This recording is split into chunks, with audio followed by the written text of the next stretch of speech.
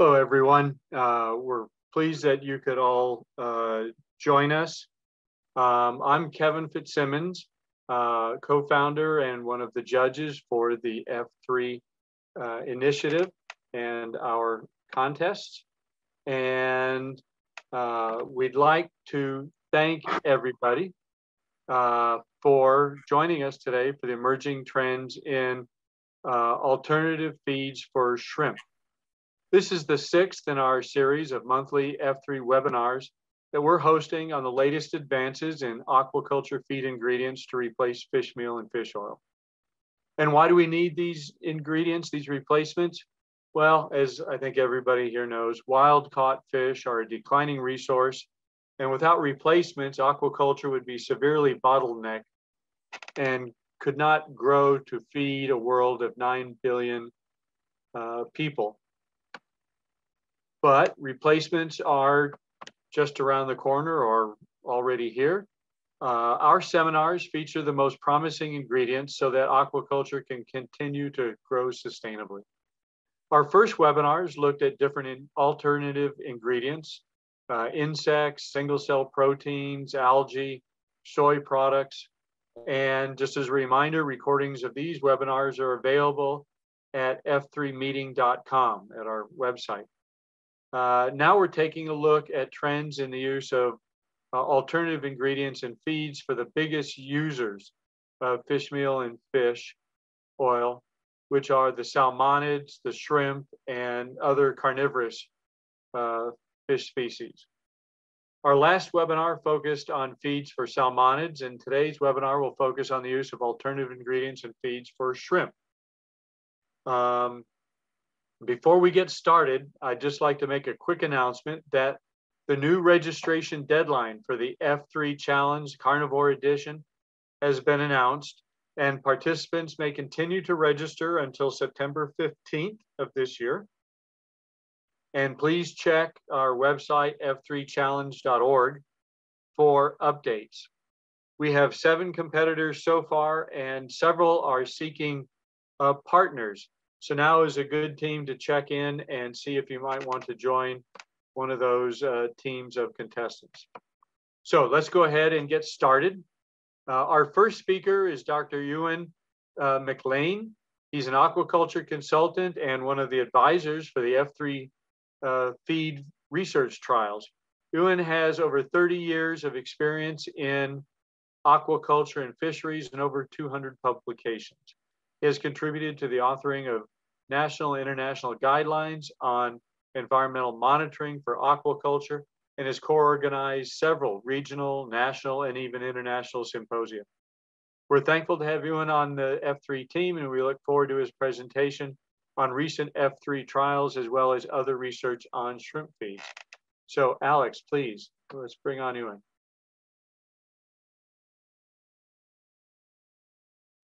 This presentation will summarize a couple of studies in which we examined the impact of fish meal free diets on the growth performance of white-legged shrimp.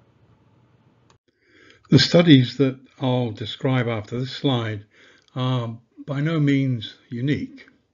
There have actually been hundreds of studies that have evaluated tens of alternative dietary proteins for specific white-legged shrimp feeds and the honeycomb to the left provides a list of not all, but just some of the alternative proteins that have been evaluated, um, generally speaking, in laboratory environments.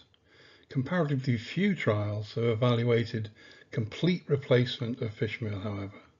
Fewer still have transferred experimental fi findings to an industrial setting. A trial that we completed last year which is noted in the reference to the left of the slide, examined various terrestrial proteins as substitutes for fish meal in blends for Pacific white leg shrimp feed. Five diets are formulated to contain fish meal as a positive control, poultry byproduct meal, fermented soybean meal, and a negative soy control and a fish meal free diet. The Mr. Feed is a product that uses a fermentation of organic waste and byproduct system.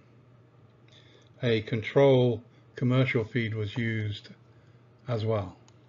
Evaluation of all the feeds essential amino acid profiles illustrated that most matched or exceeded the essential amino acid profiles of the fish meal, which is the yellow line in the diagram. Growth responses from the shrimp also indicated that the dietary essential amino acids were sufficient. SPF shrimp were held in a recirculating aquaculture system.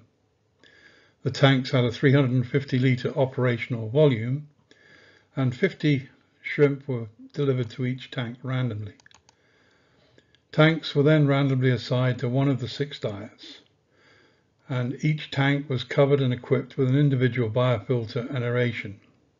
Shrimp were fed four times daily to satiation for two months. After the eight-week trial, no differences were recorded between groups for growth or survival. We are now in the middle of a farm-based trial to determine whether the fish-free feeds can compete under field conditions. Another trial I'd like to draw your attention to relates to an organic yeast-based protein uh, that replaced fish meal in diets for Pacific white shrimp. The trial employed an AHAB recirculating system. Five SPF shrimp were distributed into each aquarium and fed ad libitum for 42 days, and with excess feed removal every 24 hours. Aquaria were randomly assigned to one of two groups, either a 35% crude protein ground shrimp ration or a yeast wall based protein in which the fish meal was replaced on a unit protein basis. There were no differences in water quality and at trial end we found no significant differences between groups in terms of body mass gain, survival or specific growth rate. Following on from the successful lab trials with our yeast-based diet, uh, we wanted to see whether or not it was possible to obtain similar results, similar performance from the shrimp uh, in a more commercial or industrialized setting. And so between 2004 and 2006, we undertook three trials at Permian Sea Organics in Imperial, Texas. The results of these studies are summarized in the reference noted to the left of the slide. Each trial used four 1.8 hectare ponds stocked with 180,000 PL per pond. The ponds also received organic fertilizer from a organically certified dairy farm at 51 kilograms per hectare twice a month. One pond was fed commercial feed while the other three received the yeast-based feed at 18 kilograms per day. Of note was that temperature variations below normal led to trial extension on some occasions. There were no differences in growth or production between feeds over the three separate trials undertaken between 2004 and 2006. There were, however, differences between years because of temperature problems, especially during 2004. In total, together with other people's work, these trials demonstrate categorically that white leg shrimp can be produced using fish meal free feeds and under commercial conditions without any negative impact upon growth performance. Studies of the types described are not easy to undertake. They demand inputs from a broad range of dedicated individuals and organizations, some of who are celebrated on this slide. My thanks to them and to all of you for your time and interest. Thank you.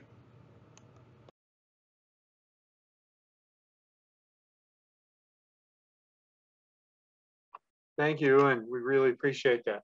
Uh, thank you. Our next person up is Dr. Loc Tran, uh, who is the founder and director of Shrimp Vet Laboratory in Vietnam.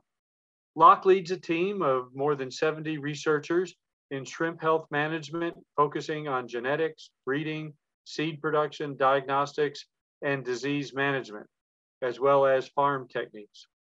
Loc received his PhD in aquaculture pathology from the University of Arizona, where he was instrumental in identification of, EM, of EMS, early mortality syndrome, and the development of diagnostic tools used for on-farm management.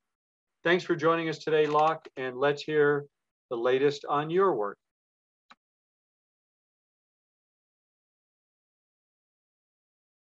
Hello, this is Loc Tran, and today I will present my work on fish free feed. And the topic is that fish free feed or F3 fits nicely, nicely to super intensive farming in Vietnam. First, I want to mention that this is a very fast growing trend in Vietnam that farmers are shifting from traditional pond, earthen pond to um, highly uh, efficient, uh, smaller footprint, uh, super intensive ponds with very high stocking density and very nice equip and control. The density could be up to uh, 150 to 500 pieces per square meter, and the stock and the productivity is up to 100 tons per hectare. Very promising. However, there's a lot of challenges that we're facing. I think there's a couple strongest challenges, including pollution caused by nitrite accumulation, and this leads to muscle necrosis disease caused by Vibrio harveyi, and this caused mass mortality and other diseases like EMS, APEN, white feces disease, high production cost due to the cost of water exchange and high FCR. Here's a couple uh, important disease in, in shrimp farming, including letter number A, white spot uh, syndrome virus is a viral disease. Uh, white physis disease, letter number B, is a bacterial disease cause a lot of economic losses. Letter number C is EMS, APEN, causing mass mortality at young stage, and, and bacterial disease. And EHP is a parasitic disease causing slow growth. We also face new disease that we haven't seen before. For example, muscle necrosis caused by Vibrio harveyi. And the root cause of this disease per our investigation is due to high nitrite, leading to immune suppression and uh, shrimp uh, innate uh, immunity and defense layer become compromised and become more susceptible to infection and then leading to mass mortality. We have done quite a few study uh, on different ingredients uh, for the F3 feed, including plant protein concentrate, uh, products derived from ethanol production, and so on. And we use uh, EMS challenge, a bacterial disease challenge, as a model to, in, to evaluate the effectiveness of uh, different ingredients. Like in this trial, we could determine that 7.5% inclusion could really improve the survivability of shrimp in an EMS challenge. Similarly, we try with different other ingredients and like over here, you see diet number A showed the best survival rate compared with the positive control. And again, another trial showing that if we can find a good inclusion rate of um, novel ingredients. Sometimes it's really improved the shrimp health, shrimp immune system, and that is why they tolerate to disease a lot better. And a couple of our trial has been published, and we already have uh, some uh, formulation uh, and prove the concept that it can uh, be utilized as a commercial feed uh, in uh, a lab model. But we move forward to run uh, full-scale pond trial in Vietnam with four a thousand um, cubic meter circular pond. This is a two by two uh, design with a commercial feed in Vietnam versus an F3, a fish-free feed. Uh, stocking density at 200 piece per square meter and starting uh, from two gram juveniles.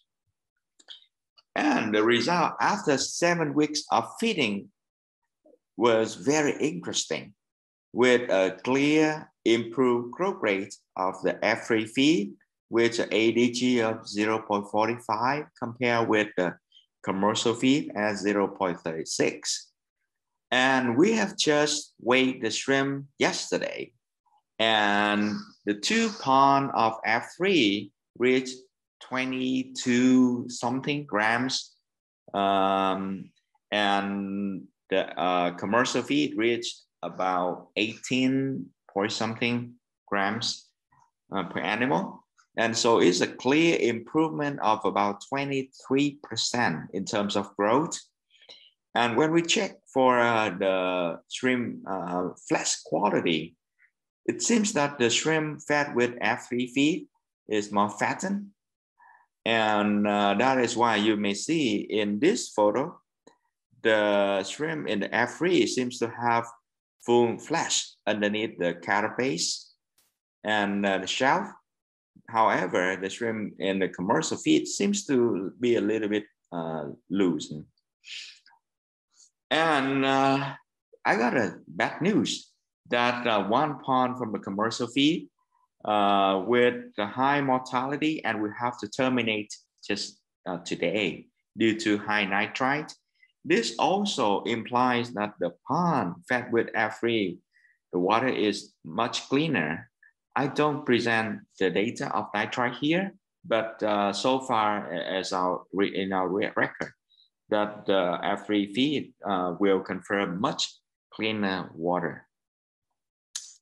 So the take-home message uh, from our uh, trial is that there have been several ingredients have been discovered that can improve shrimp digestibility, availability of micronutrient in feed, and the tolerance and stress uh, to stress and diseases. Uh, shrimp need nutrient to grow. They just don't care about the source of nutrient. And with better formulation, I strongly believe that can improve growth, survival rate, productivity, profit, and very importantly, it may reduce pollution. So I think fish-free feed is absolutely realistic and it can adapt nicely to super intensive farming. And a lot of industry people in Vietnam are really looking forward to receiving F3 feed in Vietnam. Thank you. Thank you, Loc. And uh, I also want to put in a good word for uh, one of those 70 researchers, who is my lovely wife, who's helping with some of that research. So uh, thank you again, Loc. Uh, another reminder that if you have any questions during the webinar, please type them into the Q&A box at the bottom of your screen, and we will address them during the Q&A session. Uh, so moving on, we actually have two speakers from PT Suri Tani Pemuka, STP, Aquaculture Division of JAPFA Group in uh, Indonesia. And they're going to be tag teaming uh, on our next presentation. And so uh, we have Adi Budiono, who's the president and director, and Dr. Erwin Suwendi, who's the head of nutrition and feed technology.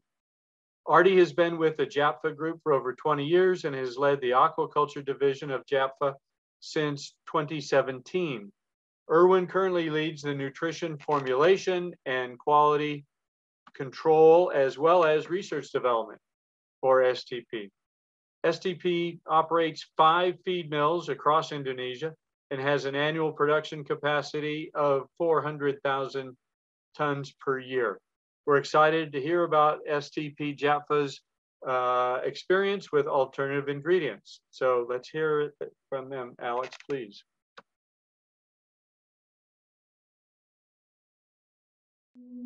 The sudden blaze of sunlight will bring life to the earth. Nature is showing us how to respect our beautiful planet. Lakes and oceans are the major reservoir of protein for today. They will continue to support us all, the important sources, virtually accessible from all corners of the world. But today, unfortunately, the nature isn't hunting, yes, hunting to survive, for the sake of humanity, to provide food for all mankind. Then just imagine this. Humans are harvesting all the sources of the lakes and oceans more than they ever produce. So what's left for the future generation?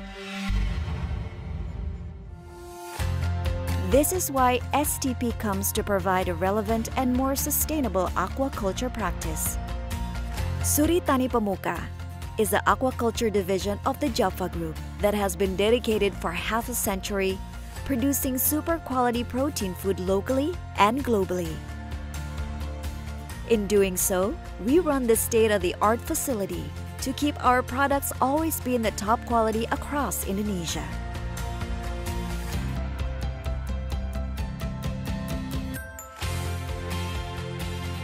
Our aqua feed mills develop the highest feed formula through advanced technology to produce an optimal performance for the feed under its diverse aquaculture conditions.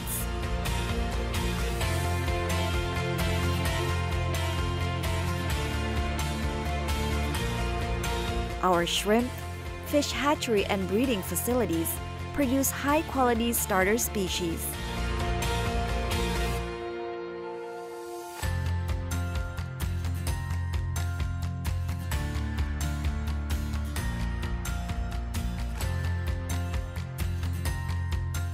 Our facilities is supported by high-end equipment that operates a responsible, sustainable operation and implements biosecurity that propose continuity to ensure that our products are disease and virus-free.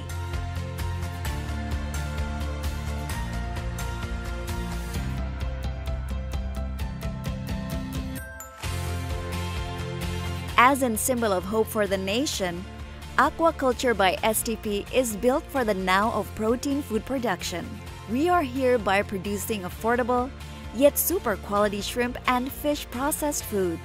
We focus on strong integrated value chain by improving the health and safety of seafood consumption, especially for the future generation. Our scientific proven approach to aquaculture is a relentless technological innovation to provide total solution through our highest quality product and services for our customers. STP monitors and studies aquaculture ecosystem and explores the interaction between the environment fisheries and aquaculture. But we can never achieve any of that without the support of our people. With our three values, purposeful, responsible, relentless, we intrinsically become the symbol of hope for people to excel their career. We create value for our stakeholders because we know that success is better when it's shared. We become our best selves when we are part of something larger than ourselves, when we are building a sustainable future for our customers, our communities, for our people, for our planet, this place we call home.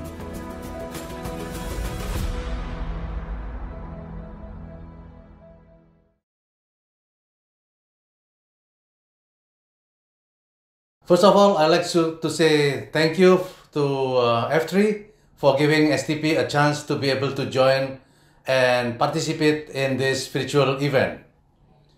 I believe this is the second time STP participate in F3 event and we are very much delighted to be part of it again. My name is Adi Budiono. I am the President Director of STP. It's an aquaculture division of JAPFA Group. And I'm here today with my colleagues Erwin Swendi, who will be joining later to present our initiatives and journey towards uh, sustainable feed products. STP is aquaculture division of JAPFA, where our main business focus in aquafeed, hatchery, grow-out farming, and also seafood processing. Since 1987, we have been producing a wide range of aquafeed products. and with a strong R&D and animal health team, we continue to develop our feed products to ensure that it can perform in various different water conditions and also to make our customer farming more optimal. For that, in the last four years, STP runs a business transformation that allows all our business pillars execute various innovation and transformation to achieve our vision in becoming a total solution company for our stakeholders. Our vision in becoming total solution company is by implementing our mission to support customers so that they are able to achieve performance and profitable business. And this mission is done by embracing three values, purposeful, responsible, relentless in our day-to-day operation. In innovation and development, we are supported by our animal health team, R&D team, and aquaculture technology development team. And together we focus in continuous improvement towards a sustainable and responsible farming. We believe that success is better if we reach together with our stakeholders. For their future generation, we partner with two international universities well known for its aquaculture studies and research. For small farmers, we help them implement sustainable farming. And for community, we help the fish farmer implement 4.0 fish farming. Aligned with JAPFA Vision, growing towards mutual prosperity, we hope that through these collaboration initiatives, our stakeholders will reach success and mutual prosperity together with STP today and also for the future. Thank you again, uh, F3, for giving STP this great opportunity. And from here, my colleagues Erwin Swendi will continue the presentation on the sustainable shrimp feed. Thank you, Adi. Hello, everyone. I am Erwin, working as the head of nutrition and feed tech STP, aquaculture division of JAPFA Group. Uh, thank you for having us in this wonderful opportunity to share what STP has been progressing towards sustainable shrimp feed in the region. So let's get started. For the last three years, STP has been successfully introduced low fish meal shrimp feed in the market under the brand of SGH. Through consistent in-house research and technical nutrition know-how, we've been able to reduce a significant amount of fish meal in our shrimp feed. As a result, the fish in fish out ratio of SGH shows a marked decrease to 0.41, meaning that for a kilo of wild fish used, 2.4 kilo of farm shrimp is produced. This pie chart shows uh, annual sales of STP shrimp feed in percentage over the last four years.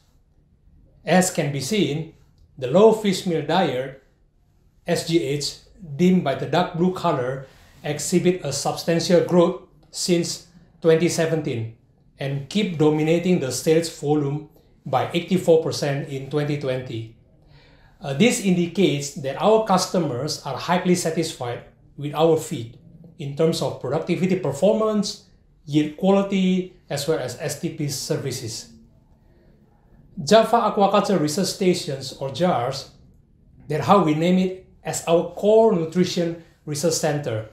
We've been working with local and international universities as well as stakeholders to perform feeding trials over a different scheme from indoor to pilot scale until applied into commercial farm. We conduct a wide range of studies such as assessment of ingredient digestibility for shrimp, growth and nutrient utilizations, as well as product positioning of current feed in the market. And that brings us to the end. I would like to thank you for your time and attention today, and we look forward to having a fruitful discussion afterward. Thank you. Thank you, Adi and, and Erwin, both of you. And uh, uh, so our next uh, speaker is Jennifer Koh, who is the Chief of Technology Development and the Sustainability Officer for Grobest Group. Jennifer has been with Grobest since 1992 and has held numerous positions supporting the animal health and business management groups, as well as the ingredient development team. Grobest is committed to developing innovative products to support safe and sustainable aquaculture, and they operate a cutting edge R&D program Their animal feed production is 800,000 metric tons per year, and we look forward to hearing their take on alternative ingredients in shrimp feeds. So please, Jennifer.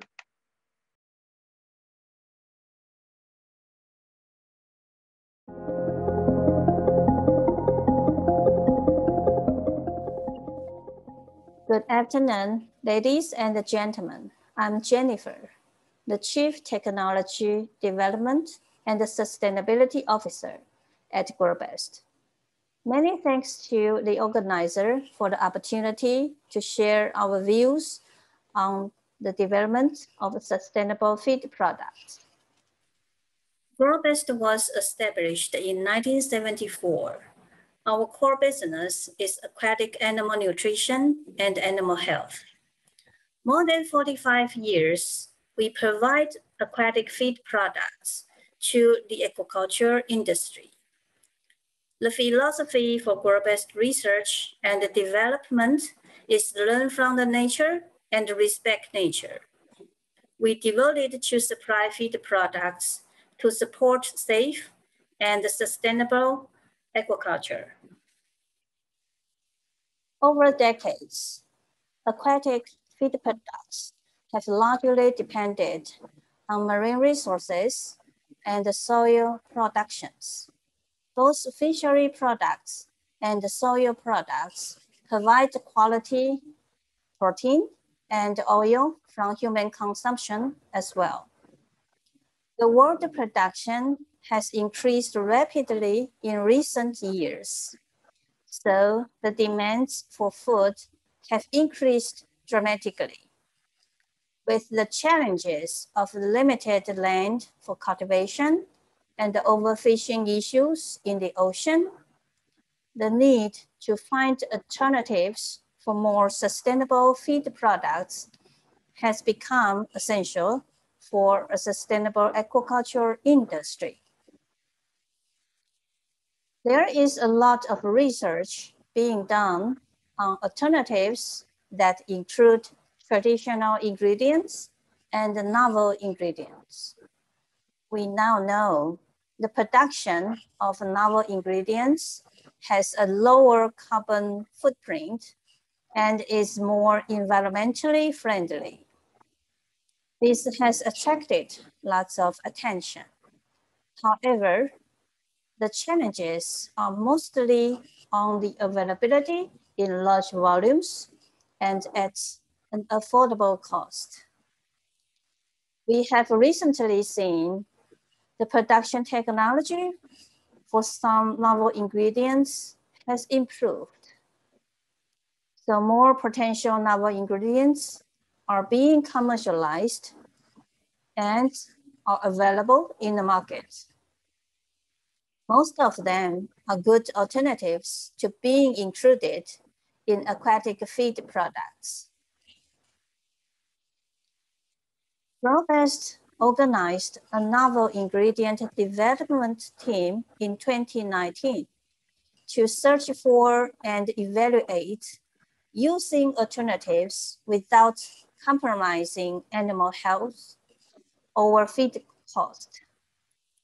Our aim is to look for marine protein alternatives, oil alternatives, and plant protein alternatives to achieve our goal for more sustainable feed products. We have conducted a lot of animal trials to evaluate the performance of different novel ingredients on shrimp and fish. The indicators we consider when using alternatives include nutritional value, digestibility, palatability, amino acid balance, fatty acid balance, minerals, as well as animal growth, survival rate, and animal health. From the findings we have, some novel ingredients do perform well. More trials needed to be done to further evaluate the efficiency of potential novel ingredients. Our team will continue the research both in the laboratory and in the field.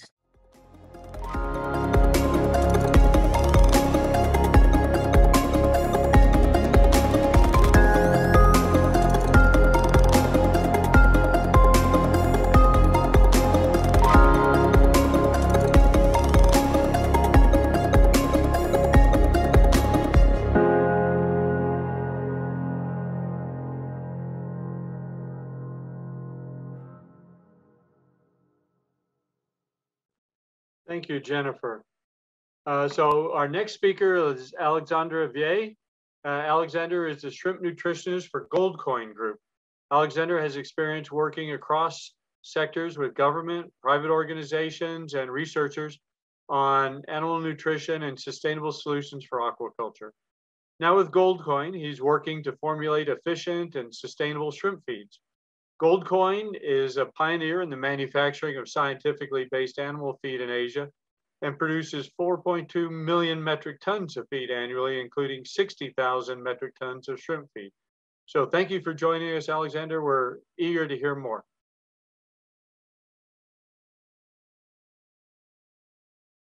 Good morning, good evening, good afternoon, everyone. So welcome to the F3 Shrimp webinar session for the Pilmico and Goldcoin Group, an Aboitiz company.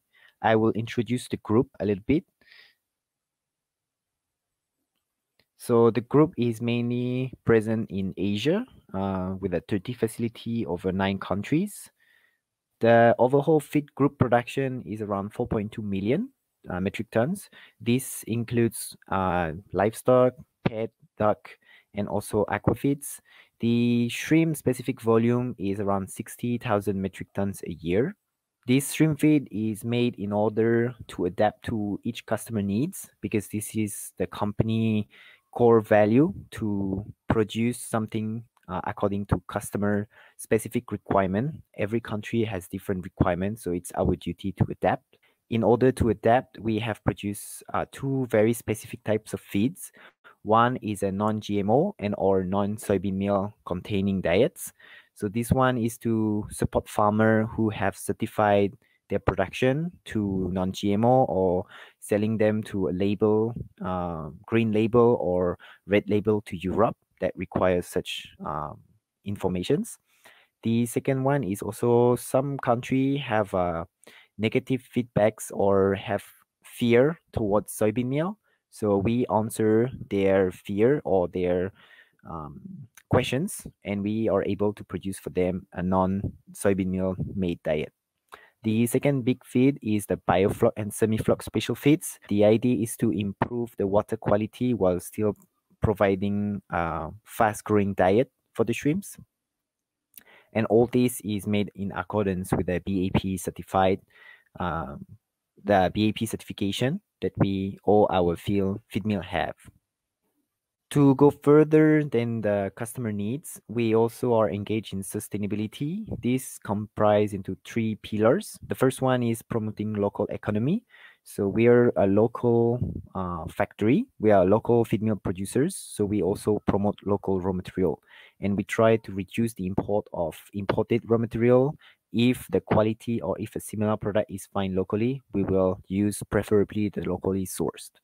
The second pillar is the priority to green energy, like solar, green gas, and others. Uh, this is from our supplier, so we will preferably choose raw material from suppliers that are already engaged in such pillars. We also propose to our customer uh, some solutions to partner for solar panel or green gases. And for our production process, we, as much as we can, we are engaged into using solar and green gases to produce our feed. The third pillar would be the use of alternative raw material that are more environmental friendly, like the seaweeds. Uh, why seaweeds? Because they are naturally grow on the sea out of the ammonia and phosphor pollutions of the oceans, and they will transform it into available protein for the shrimps or for other types of animals. The insects are towards the fish meal replacement, and the processed animal protein uh, are preferred because they already come from uh, already their wastes from the animal industry. So rather than uh, burning those waste, if they can have a second life cycle, then it would be better for the overall environment. All this comes with some challenge, especially when it's come to the customer point of view uh, in terms of availability and also the um, perceptions. Perception wise, the main issue for the processed animal protein is the mad cow disease that leads to the strict uh, restriction on the use of uh, PAP in animal feeds, especially in Europe, where the, the sellers are very reticent into uh, selling product, animal or meat product that are fed processed animal protein. There is a lot to do to improve this buyer perspective. The other issue would be with the insect protein, which still have a low availability and a high price compared to fish meal. And aside from that, the import permit in most countries is quite uh, restrictive and quite long and not yet established, meaning that to get those protein is actually not a simple things. So thanks for joining this session. I will be pleased to discuss more and answer your question regarding the Pilmico Gold Coin Group. Thanks. Okay, thank you, Alexander. Uh, our next speaker is Robbins McIntosh, who is the Executive Vice President for CP Foods. Robbins has been involved in international shrimp farming and technology development since 1978. He joined CP Foods in 2001 and was tasked with revitalizing their shrimp culture through environmentally conscious technologies. CP Foods is the largest producer of shrimp feed in the world, with greater than 800,000 tons of annual production. On behalf of CP Foods, Robbins is now helping launch Homegrown Shrimp USA, which is currently operating a hatchery to provide fast growing post larvae to the USA and Europe, and will soon begin harvesting fresh shrimp for the market. So let's please hear from Robbins.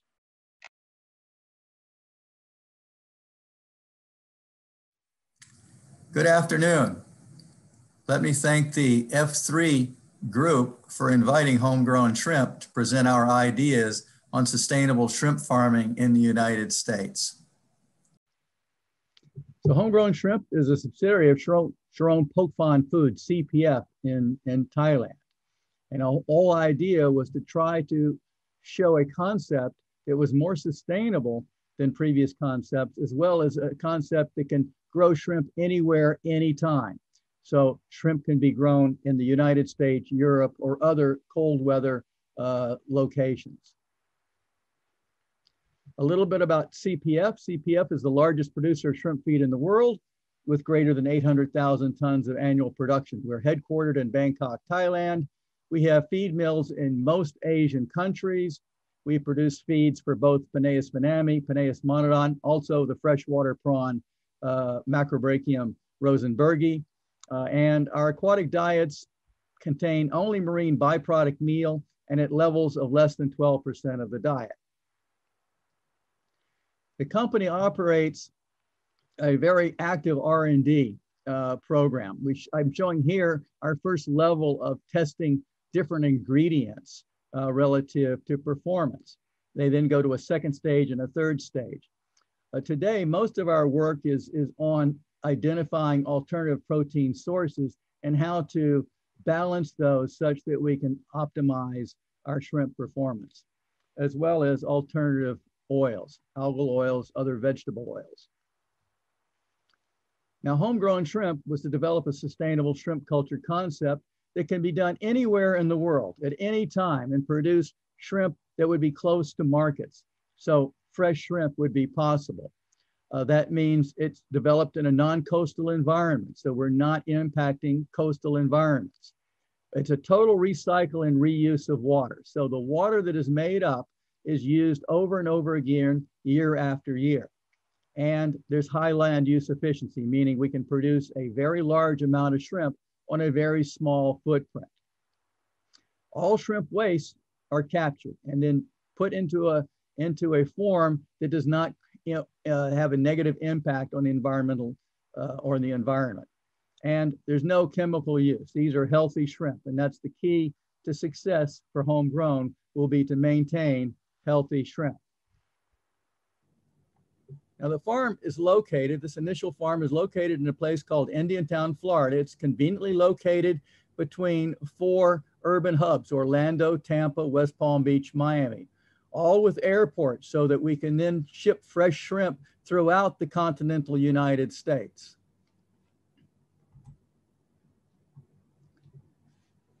Now the farm is currently under construction. We have an operating hatchery that is producing high quality post larvae and sells to both Europe and the United States today. Uh, by November, we should have our first farm unit in production and hopefully our first production comes out in January of 2021. There's, there will be 20 number 20 tanks, 100 ton size. Now 100 ton size is so that we can harvest about 500 kilos in the initial phase, which should be marketable fresh. We should not have to uh, freeze that. So the idea is every day of the week, every month of the year, we will have fresh shrimp uh, in creating that fresh shrimp market. The buildings, of course, are insulated to maintain optimal uh, temperatures of 30 degrees, which is absolutely essential for a fast turn time. Uh, the, there'll be as much automation as we can put into the op operation to minimize human error, as well as minimize uh, the amount of labor that is required to operate the farm. Our production targets are five kilos per meter cube.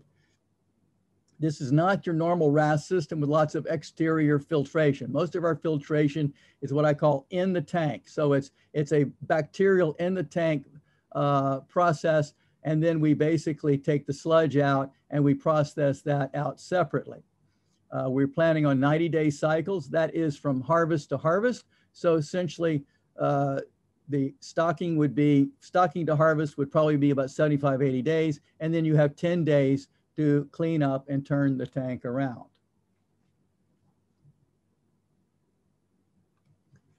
Again, one of the important features will be zero waste and zero discharge water to the environment.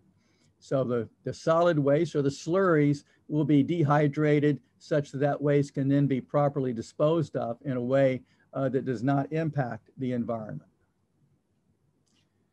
Now, we recognize that feed is a very important part of the sustainable story. And so we're developing a special feed for homegrown that will have zero marine meal, zero animal protein, and minimize agriculture land products such as soybean. Uh, we want to use only vegetable oils and algal oils. We'll have special binders that will be specially for tanks so that you don't create a lot of slurry. Uh, you basically keep the waste together, which makes them easier to remove and easier to process. And certainly there will no, be no special chemical additives or antibiotics in, in the system. Now, in conjunction to the feed, we're also developing a special shrimp to utilize that feed. And we've had that program going since 2013. And on the right, I, on the right, I show the results of that improvement and how you can use genetic selection to improve shrimp lines, you know, for use of vegetable diets. So in 2013, this top blue line is our normal commercial line we call turbo on our normal commercial feed. This blue line is basically, at this point, this is turbo, and then we start selecting it for all vegetable protein, and you can see we can close the gap. And right now, the performance of the vegetable diet is very close to the performance of turbo on a diet that has uh, marine meals. So in conclusion, homegrown is going to be only fresh. It's going to be all natural fish, uh, shrimp, uh, we've had one harvest uh, last last summer. We we did a trial just to see what the shrimp and what the reception of the market would be. Uh, we had very good reception to this idea of all natural, no antibiotics, no chemical, and no ocean. So we are not impacting oceans with the production of the shrimp. And again, just to thank you, here shows a picture of some of the what we call our celebrity chefs that came out, uh, and we had some a day of testing and looking at, around at the at the homegrown concept.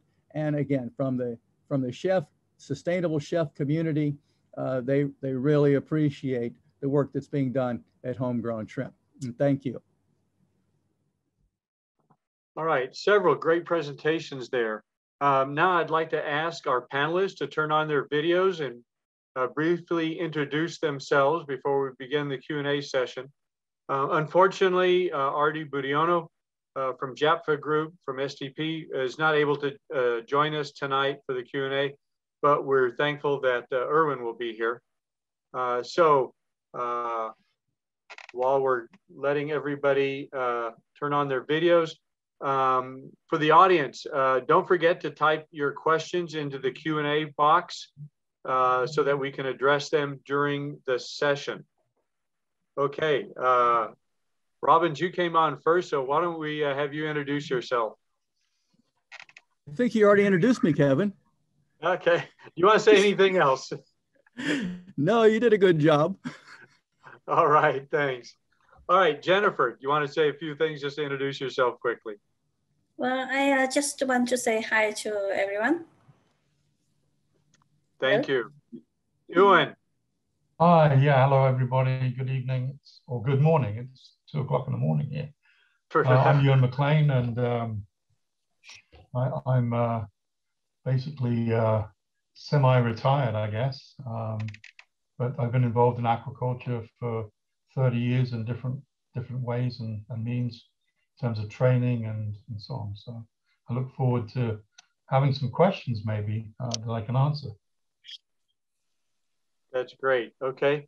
Alexander, we didn't get to see your face before, so we appreciate you uh, meeting you now. Okay, so here is my face. Thanks for inviting me for this uh, very nice seminar. Um, thanks. All right. And Erwin, good to see you again. Yeah, hi, Kevin. Hi, everyone. Good morning, good afternoon, good evening. Uh, yeah, thank you for having us in this uh, wonderful opportunity to share what we have been uh, doing. Yeah, looking forward for the discussion. Thank you. Okay, thank you. All right, um, so let me uh, okay, so one of the questions that we've got has anyone used microalgae as a feed supplement for protein and therapeutics? Uh, matter of fact, I kind of remember a couple people, but uh, I, I know Robbins, you've done a little of that. You want to talk about that first? Uh, I have used uh, microalgae. I'm not sure I would ever call it a supplement uh, for anything. I mean, it's uh, certainly if you want uh, omega 3s, it's one of the few places you get natural omega 3s. Um, it is the it is the place that we go for the omega 3 outside of marine meal. But uh, I don't think I would ever call it a uh, therapeutic per se, other than the necessity for omega 3 in the diet. Uh huh. Okay, great. Okay. Um, so here, here's a question for Loc. Can F3 be used in fish feed? Will it have the same effect on, in terms of meat quality? Uh, first, uh, we tried the taste test with the shrimp and the taste was really good. So there's no complaint. And uh, the fact is that um, the, the shrimp uh, with the F3 diet uh, seems to be a little bit uh, sweeter and more tender. So uh, I don't think there might be an issue with the uh, fish flesh quality. I assume so, because uh, shrimp is highly carnivorous. Okay. Let me pass out over to Ewan as well, because he's been involved a little bit with some of the other trials that F3 folks have done. Yeah, we've uh, undertaken a, a few few uh, trials with different species. Um, the, the most recent was the largemouth bass trial. Um, we got very fine results there, uh, really good um, responses from um, a, a, a, basic test, taste test trial. Um, good growth, uh, no problems with survival, um, very competitive. And uh, if you look at the the cost breakdown, uh, the F3 formulations, which are open formulations and available, I think, on the F3 website, um, the F3 diet really, really does perform exceptionally well, and especially from an economics point of view, because a lot of the ingredients are a lot less expensive than, than fish meal. So uh, the bottom, bottom line there, the answer to the question is absolutely. Uh, and it's, it's, it's, well to point out that you know the, these fish were, were grown through a, more or less a whole production cycle. So we, we're, we're really excited by the results we've got. And that there are other other pieces of research with Pompano and um, I, I, think there's um, uh, some stuff they've done in Hawaii with um, kampachi, which has also provided really good results. Great, thank you. Um, so uh, Erwin, we've got a, a comment, uh, question here. Um, uh, STP provides a lot of support to shrimp farmers. What are they saying about alternative ingredients?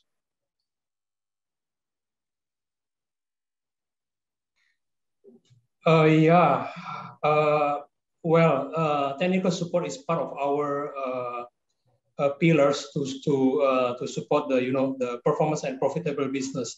So alternative ingredient is actually one of our direction that uh, we are trying to you know uh, reduce the marine ingredients in our uh, formulation.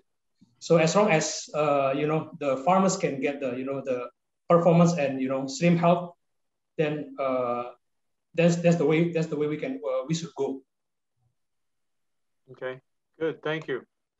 Uh, Jennifer, we've got a question for you.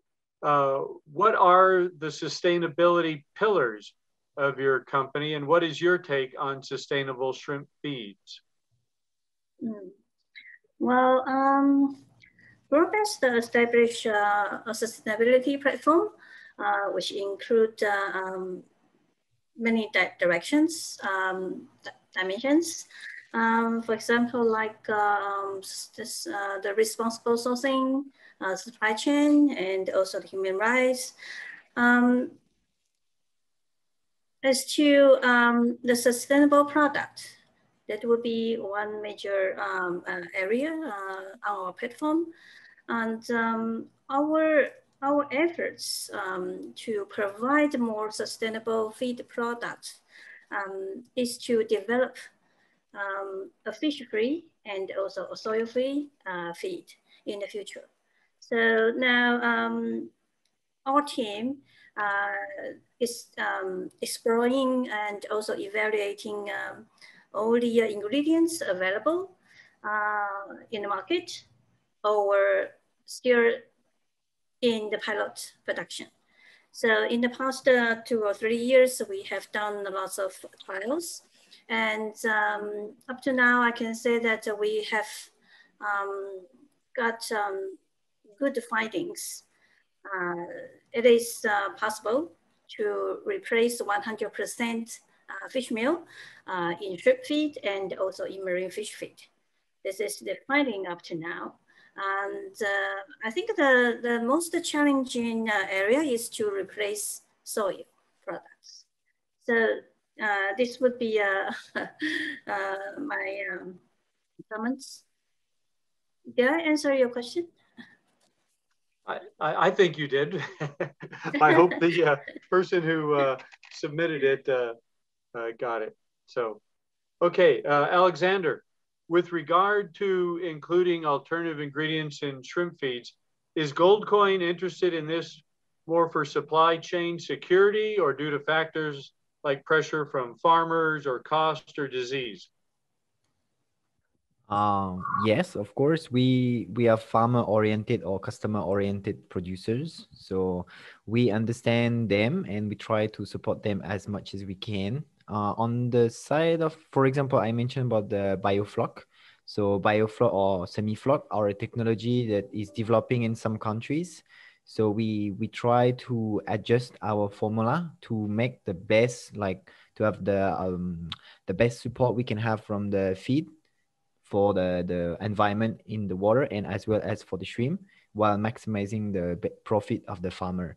When it comes for disease, my experience is there is a lot of uh, product that have claims to improve disease or to to cure, but the main issue is the lab condition and the farm condition are somehow very different and some might work in one farm but might not work in the other farm.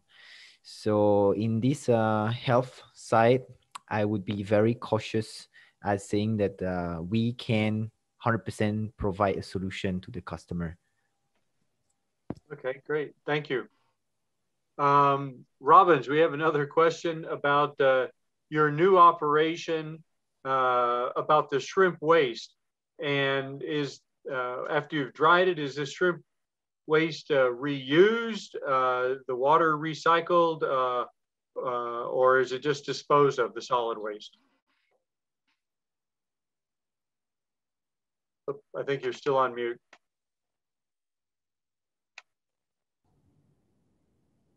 I said we have a we have an advantage because the state of Florida allows us to dispose of nothing. So all the water must be totally recycled. And in, because it's all artificial, we're not near the coast, uh, we really have to reuse it for years and years and years to amortize it like a capital cost. Huh. The solid waste, uh, because of the intensity of the operation, we get quite a bit of solid waste, molts, et cetera. And so once we dehydrate that, uh, it will be easily removed and hopefully we can find a use in terms of uh, organic mulch or something like that down the road. Uh, but basically we are required to recycle and dispose of everything in an environmentally satisfactory method. So you're able to keep the salinity down in that product. basically the salinity will be there, but again, it would basically easily leach out uh, wherever it is. So when I've tried this in Belize, uh, basically it grows great citrus, bananas, uh, all kind of things after a, after a rainfall. And because of the high the high precipitation in Florida, they don't really worry about that because it easily gets diluted out. Uh, what they don't let you do is, is discharge the saline water itself. Okay. Good, thank you. Okay, um, this uh, is is just a general one to uh, everybody on the panel. Um, and so the question is, what are the most in promising insect species which can be used as alternative shrimp feed ingredient? Uh, so what do you all think is the most promising insect meal to use? I think we can cover that question. Yeah, please. Yeah, to me, I think the black soldier fly would be uh, one of the promising ingredients to replace fish meal uh, because it's due to the uh, quite similar uh, nutritional profile to fish meal. And also, black soldier fly is a true flies, uh, Diptera. the, the question that now we are face, facing is actually the economy of scale and availability. Since like, you know, like us, when we are operating a huge, uh, you know, big amount of the production, then the quantity is a is an issue nowadays for the uh, black soldier fly. Right. Okay. Thank good. you. Sure. Anybody want to champion any other insect meal? Uh, well, uh, we have tested uh, many species of uh, insect uh, meal. And uh, we found out that uh, black soldier and the mealworm uh, probably would um, work well. But on top of that, I, I would like to emphasize that actually, um, I think all the species could be potential uh, ingredients. Uh, it depends on the quality uh, and also the production technology during um, the production uh, that uh, that would be uh, uh, our key concerns. Thank okay. you.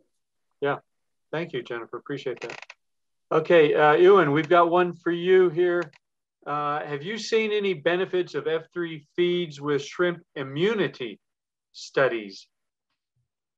Well, the study we did um, together with Loc Trans. So uh, Loc has covered this. This was an F3 trial that uh, was collaborative, and I think he's covered that in his, his talk very well. Um, but there, there, there were no real negative effects at all that we were able to measure. Um, this is something um, that, that does concern me though, because when you look at you know different alternate proteins in diets, especially with fish, uh, probably also with shrimp, you do get these reports of negative effects upon the gut and uh, ability of the animal to respond to um, uh, challenge. But again, with with the trial undertaken uh, in, in Loc's lab, um, we, we got really good results with the F3 diet, uh, with the animals more able to, to respond to challenge than uh, the uh, fish meal based diet. So um, I, I, think it is a concern, but it's, it's not with the F3 diet so far. Uh, we need to look at it a little bit more detail. Um, but but that, that is one concern that I have about alternate proteins. Um, when the, the soybean meal and, and salmon, for example, are a good example of um, bad news, really. Um, but, uh, but then the combination of, you know, immunostimulants and, and uh, alternate proteins is something that we need to look at uh, in a more quantitative way, I think, in the future, whether it be for shrimp or, or for fish or any other aquatic organism. Uh-huh. Okay. Um, um, so, so let me, let me expand upon that. There's another question for Loc. Can the potential health or immune effects of alternative ingredients balance out cost implications to make some alternative feeds more or ingredients more economical?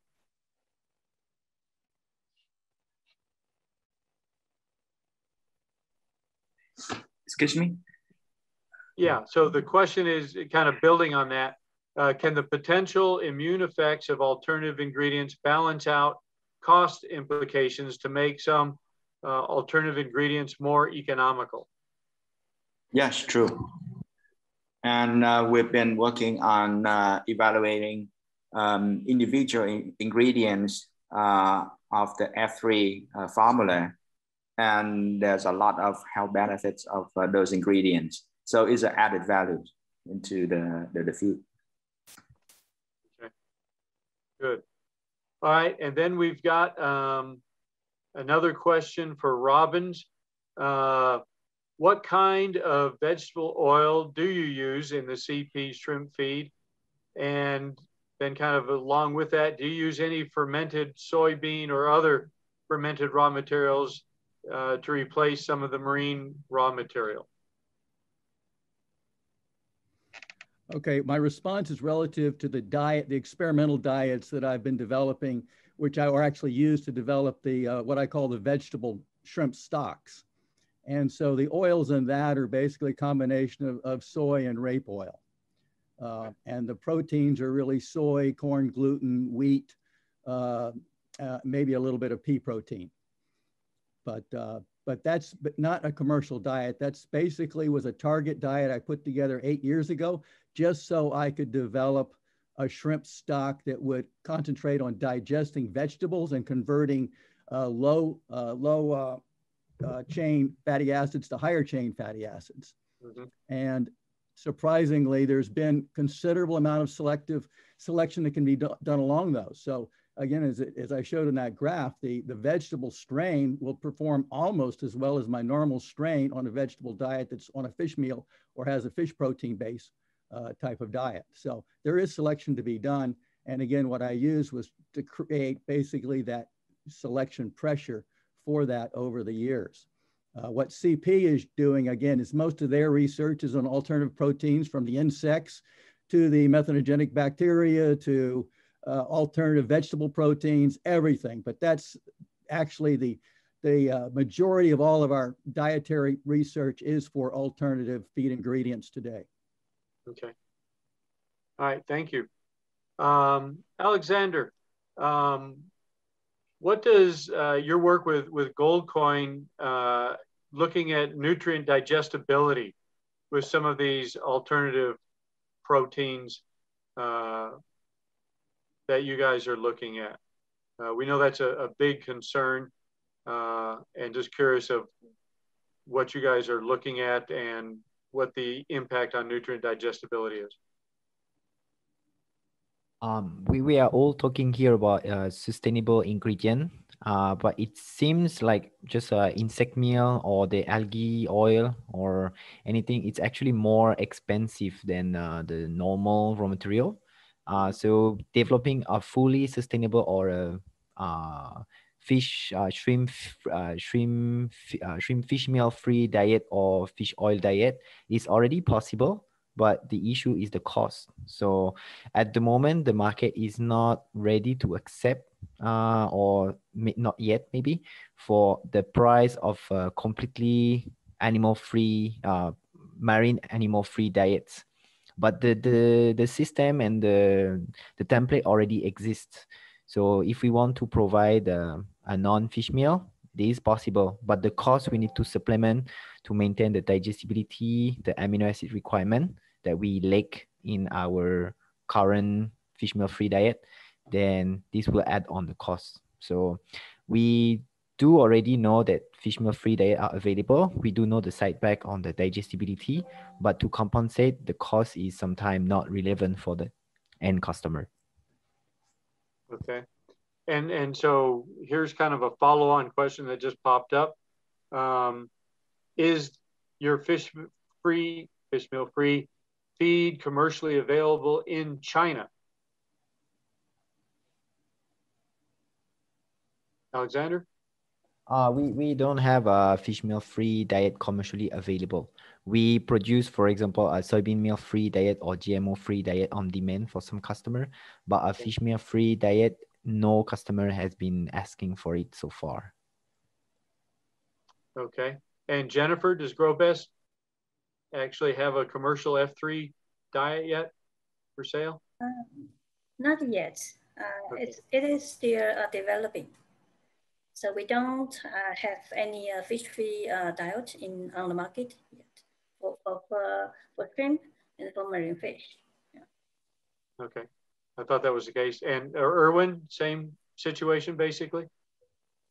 Yeah, same situation basically, Kevin. Uh, sometimes we end up with a higher uh, cost of the formulations when we formulating with, you know, uh, uh, zero fish meal. So, but we are actually, uh, you know, looking for, you know, uh, alternative sustainable ingredients as, uh, you know, like uh, insect meals, you know, things like aquaculture, aquaculture or fisheries byproduct to, you know, to completely replace the, the fish meal. That's, I think, the more uh, feasible at the moment that, you know, for our commercial operation.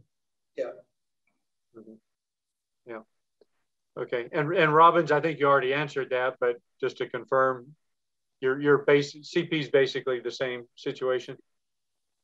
Yeah, that's that's correct. Basically, I, again, I think when we talk about this, there's as much about educating consumers, the farmers, as, as anything else. Today, I think if you took a farmer a all vegetable diet and they took one smell of it, you're probably not going to make a sale. Yeah, yeah. No, I I think that's very true. Okay. Um, and so, uh, da, da, da, Kevin, if I yes, may add something um, to to go on with the Robin answers, the consumer also would be quite uh, not so happy to know that he pay more expensive shrimp that is a fed vegetarian. I don't think in the head of the consumer, like the end consumer, a vegetarian shrimp should be more expensive than a, a fish meal fed shrimp. So there is also a lot to do in the um, end consumer point of view. And toward the sustainable ingredient, the use of a byproduct fish meal, for example, uh, is as sustainable as using other byproducts because it's already coming from a, it's, it's an existing waste that is transformed into a product. So the, I think the key for sustainability, rather than focusing on plant, 100% plant diet, uh, plant-based diet, would be more on a, a various or diversity in the raw material. I, I agree with that. I mean, again, I think in terms of what I would be doing with an all vegetable diet, it would be for a niche market for a few consumers that really wanted all vegetarian, but it's not for the main market. The main market has got to be from diets that are competitive and yet are sustainable. So it's using byproducts and other relative ingredients uh, to make the, the lowest cost diet that is sustainable, uh, but not just with a definition, it's got to be all vegetable. Yeah. And and just so people understand, um, the as far as F3 is concerned, we recognize that too, that uh, the rendered product from processing waste uh, is, is uh, much more likely to be sustainable in the long run. And uh, we're, we're, we're happy to see that used. But for our contest purposes, there's no way for us to determine whether that fish meal is coming from wild caught fish or rendered product from processing byproduct. And so uh, we, we've, we've been forced to just say, okay, as far as our contests are concerned, we can't differentiate any of those. So we're just saying, you know, no, no marine protein period, because there's no way we could, we could separate that out at, at this point. At some time in the future, maybe we could with, with uh, uh, better uh, uh DNA fingerprint type, type work. Uh, but our, our main goal, as I'm sure everybody knows, is to uh, really address the forage fish problem because that, that's the critical uh, ecological problem. It's an economic problem. Uh, it's a human welfare issue in many countries. Uh, so uh, we're, we're happy to see the byproduct and especially of farmed fish uh, continue to, to grow. Uh, Kevin, I think that's also why I think breeding has got to be an important part of this because I think through breeding, we can actually bring down the vegetable costs. Uh, right now, a wild, wild shrimp does not digest as efficiently as one that you select for it. So mm -hmm. we can actually drive down the cost of using all vegetables, both oil and meals, uh, through a selective breeding program. And that's kind of what that's the angle I've been trying to take for the last eight years is to create a shrimp that can consume a vegetable diet more efficiently and therefore bring the cost of that diet down. I mean, I, I've, I've used all vegetable diets since 1998 in Belize. I fed upon nothing but wheat grain. So I pelleted wheat grain, 12% protein. I got an 80% survival at 15 tons per hectare. It grew very slow, but it's been no doubt that you can grow shrimp on all vegetables. It's just the efficiency at which you grow them. Yeah. Well, and I think that's another excellent point, Robins, that that uh, we're, we're just a few generations removed from from wild shrimp. Uh, and you know the domestication process is is ongoing and uh, without even doing any fancy uh, genetic uh, engineering, GMO work, just plain selective breeding can get us a long way to more domesticated shrimp that are going to uh, do much better on these these diets with with a bit of uh, a few generations of selection. So I think that's an excellent point. Um, okay, uh, Ewan, here's another question for you. Uh, you're an academic, but you've also worked with the industry and government agencies. Given your broad experience, where do you see bottlenecks or challenges for alternative ingredients? I go back to the, the disease issue uh, and making sure that the health of the animal is not compromised by any ingredient that we use, you know, and, and um, the, the, the, the, the blends of proteins we're using, um, seem to be getting better and better and better. I mean, I, I was thinking about the the trout uh, breeding program where they're breeding trout that are more able to accept um, you know vegetable-based diets. Uh, goes back to the shrimp, and I think I've done that also with Atlantic salmon. But um, the, the disease and health issues are in shrimp, from my point of view, uh, the big bottlenecks uh, when we start using you know, dietary ingredients without taking the, the health and welfare of the animal uh, into account. Um, that, that may be, I mean, I, I was interested to hear um, um, Robins's take on the, the, uh, the niche markets for, uh, you know, all green animals. I mean, I, I, think it depends where you are in the world. I mean, the Californians tend to be uh, into the organic thing, and all you have to do is look at organic organic farming is actually the fastest growing food production system in the world. It's not aquaculture. Everybody says it's aqua, it's actually organic farming.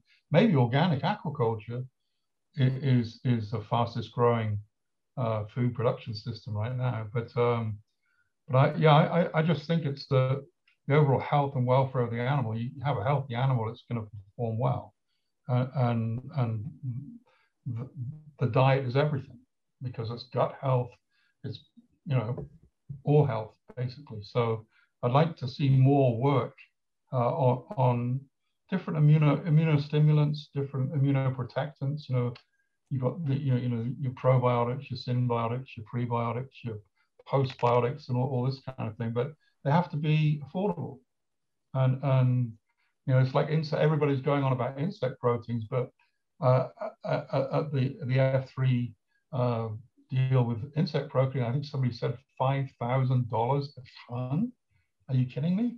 So I, you know, I, I like to. I, I was thinking about an insect I'd like to look at as an alternative protein It'd be termites.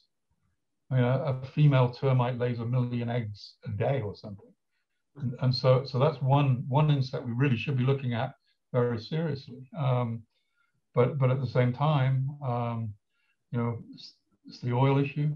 Uh, the, the, the, algal oil is very interesting to me. Um, I think uh, that, that's a bottleneck is, is, how do we replace the fish oil that we need? It's the fish oil it's more more the, the pressure thing right now, I think, than fish meal. Yeah.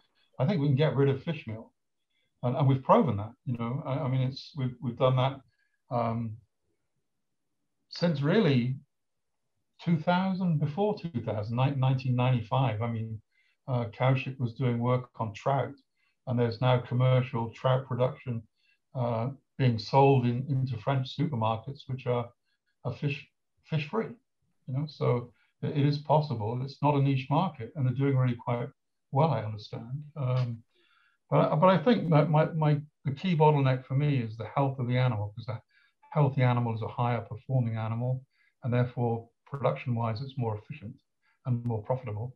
And, and then it'll stabilize the sector and, and, and uh, hopefully help it grow. Good. So, so Robins would Ewan was kind of mentioning, would you actually call your system uh, organic? And, and there's another question here kind of related to that. Would you call it a biofloc system? uh, biofloc was the worst term I think I ever invented. it's an advanced biofloc system, but people that see my biofloc today say you don't have biofloc because okay. I don't believe in a lot of junk in the pond. I mean, all of that has to be removed as sludge. So I yeah. use a nitrifying biofloc. So for me, biofloc is about internal recycling of, of, of processing water. It's not about nutrition. Uh, so basically I use biofloc to, to recycle nitrogen using nitrifiers, which is thin and not thick like a heterotrophic. So I don't do heterotrophic, I do nitrifying biofloc uh, because I find internal uh, RAS is more is lower cost than an external RAS filter, okay. right? So I do internal RAS with nitrifiers inside the tank instead of outside the tank.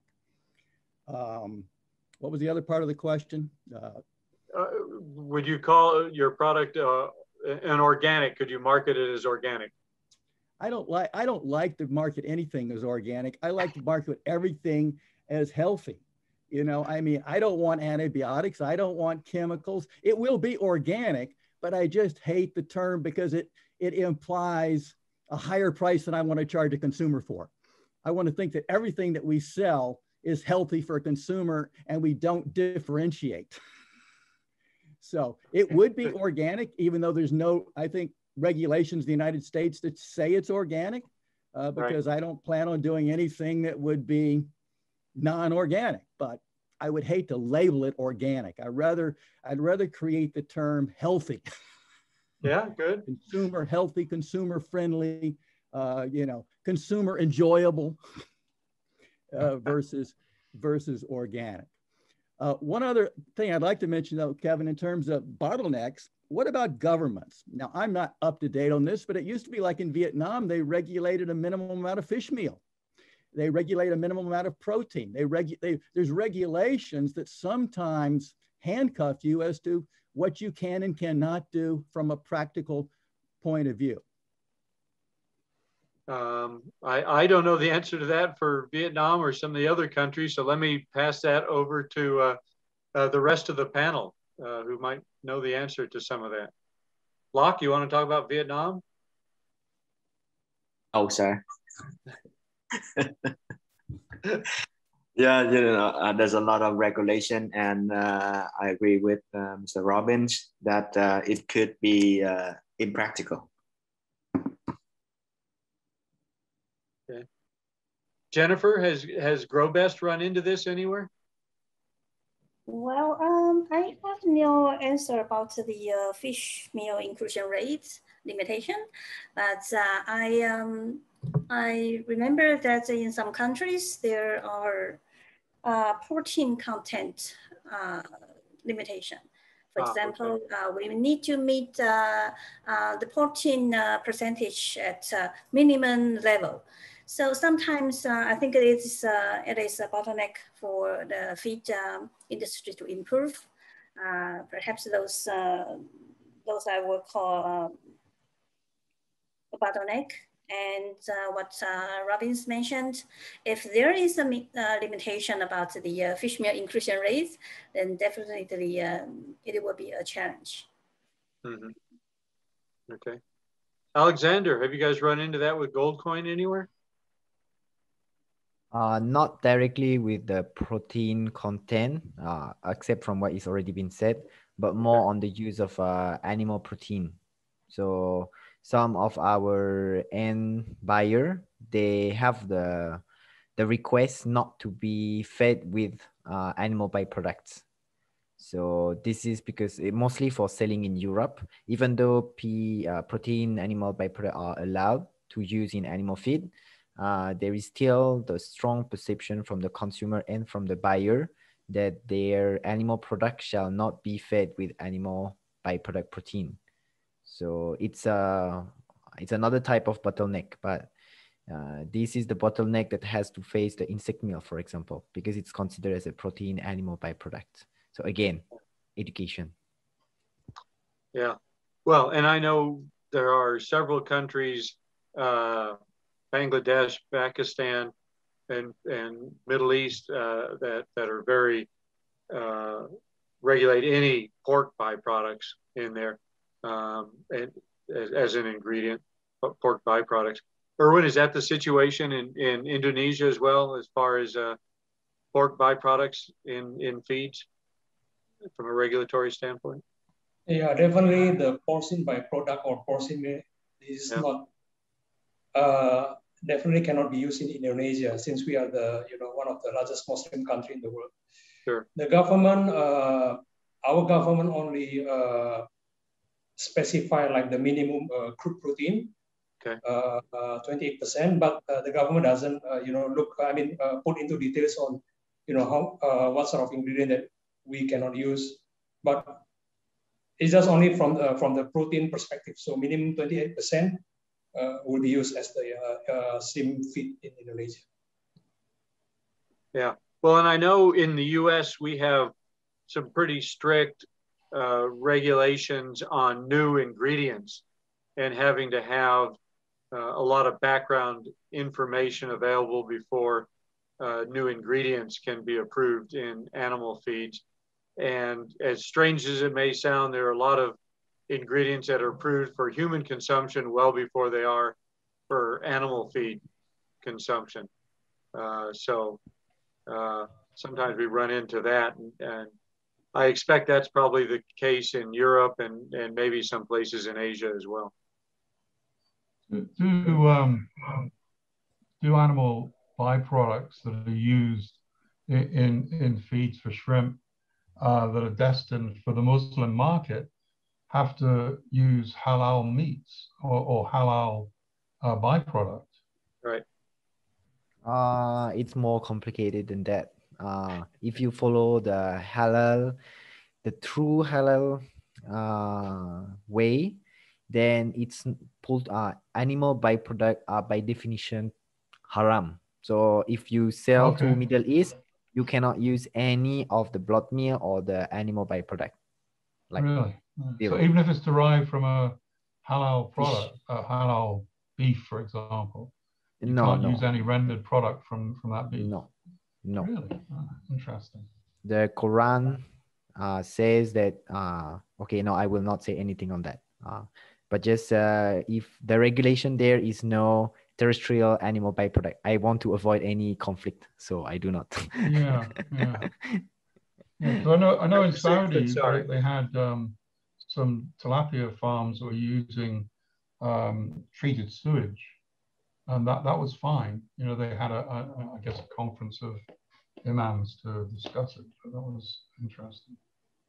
But uh, yeah, I'm interested in that. yeah. I I actually heard about that and, and it had to do with uh, strictures about not wasting uh, water and other natural resources. And so that was the interpretation that, that I was told as, to why that was allowed in, in certain cases. Uh, because otherwise it would be a waste of water not to use it productively like that. Hmm.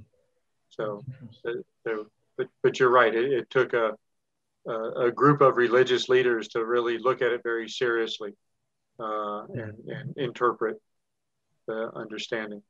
Yeah. So, okay, we've got one one final question here um, for the, the panel that uh, I'll share with you.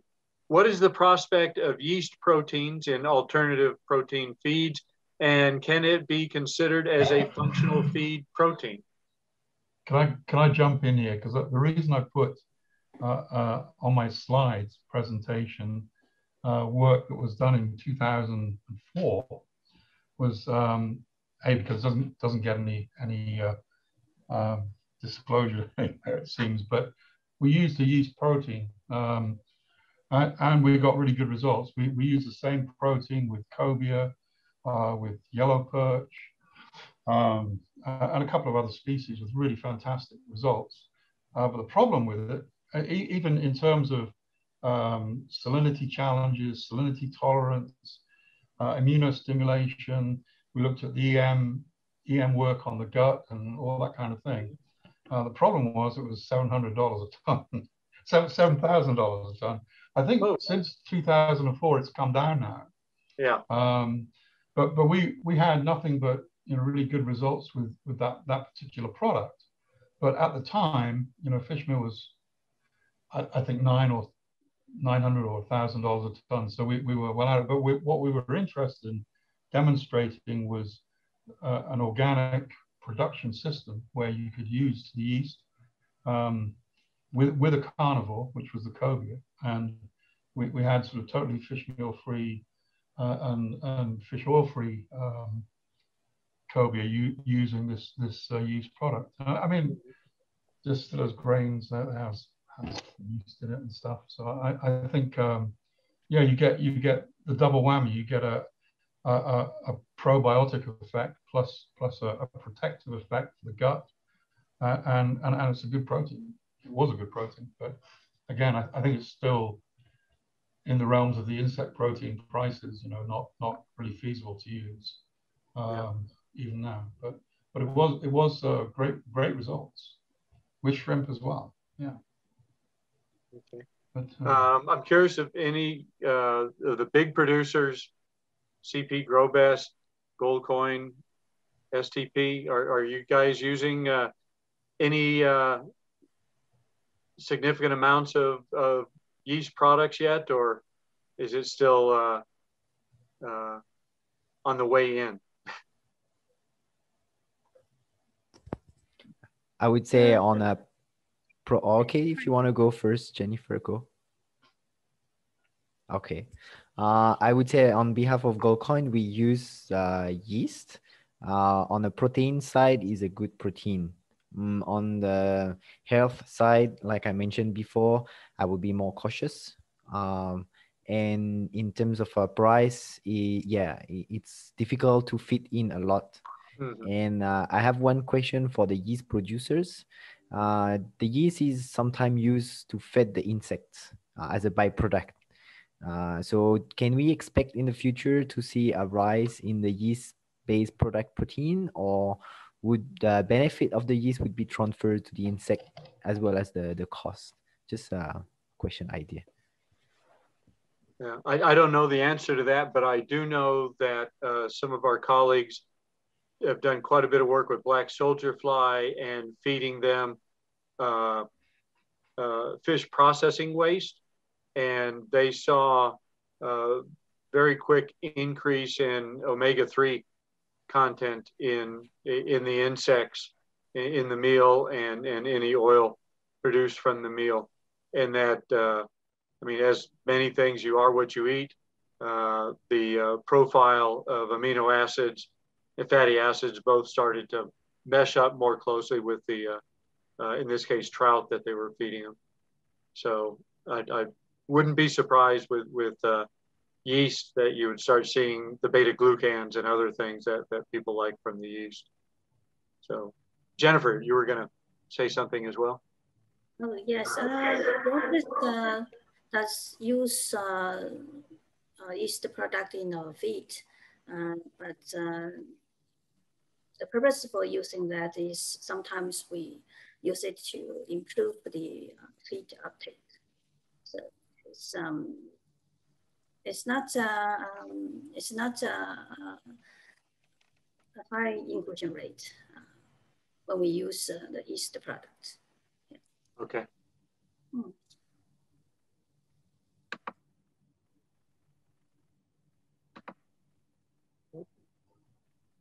And Erwin, do you have anything to add to that of what uh, STP is doing? Oh, well, basically there are three different uh, kind of yeast, right? Inactive dried yeast, the autolyzed one, and then the hydrolyzed yeast. So we use the hydrolyzed one uh, specific for the functional feed. Uh, we see uh, more benefit on, you know, uh, incorporating the functional feed uh, as one of the, you know, immune, immune enhancer for the specific, you know, type of the feed. But we don't use the inactive one uh, due to the, as already Alex mentioned, that cost effective is uh, is not uh, is not you know met in our, in, in our programs. So still it's not competitive as compared to the you know to the common ingredient like the soybean meal or uh, you know uh, processed animal protein. Yeah. Okay. Well, thank you all very much. We, have run a little bit over our time already. Uh, so uh, I want to thank everybody and uh, special thanks to uh, Loctron for being so kind to my wife and uh, helping take care of her over there, which is greatly appreciated till she uh, gets finished with her interview at the embassy and can come on back to the States. So anyways, thank you again for all your informative presentations. Uh, I'd like to mention that our global audience today included over 36,700 people. Uh, so uh, we want to remind everybody to uh, get registered for the F3 Carnivore Edition if you haven't already. Uh, and you can go to f3challenge.org for more details. Uh, I want to thank everyone for joining us for the seminar today. And please join us for our next webinar on emerging trends in alternative feeds for carnivorous fish, which will be August 19th, 5 a.m. GMT, 1 p.m. Beijing time. And we'd also like to have everybody just take another uh, minute or two to watch our closing video uh, from F3. So thank you. And if Alex would play the final.